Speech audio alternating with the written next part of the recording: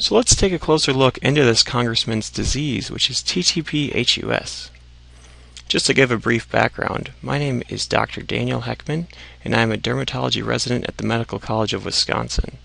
I am also a national board reviewer for First Aid and Pathoma, the top two board review companies in the United States.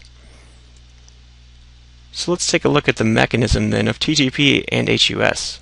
In everyone's blood vessels, there's a protein called von Willebrand's factor that's normally broken down by an enzyme into smaller subunits. However, in the disease of TTP, these individuals produce antibodies that actually bind to and inhibit the enzyme. Similarly, in a disease called HUS, bacteria release toxins that then inhibit this enzyme. So whether this enzyme is inhibited by an antibody or a toxin, it still is inhibited.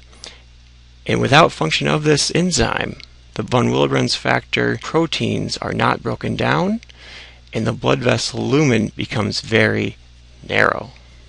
The problem with having a narrow lumen is that red blood cells cannot fit through the blood vessels and smash into the large von Willebrand factor proteins.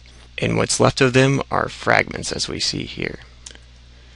Here is a sample of blood from people suffering from this disease, such as the congressman, and we see fragments of red blood cells.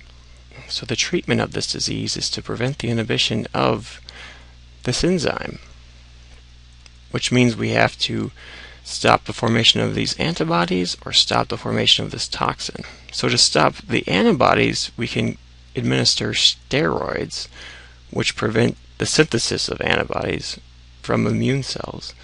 However, once the antibodies and the toxins are already in a patient's bloodstream, the only thing we can do is filter them out through plasmapheresis, which is a quick and effective way to remove the offending agents from the bloodstream. And to allow this enzyme to work and thus allow the safe travel of red blood cells through the bloodstream.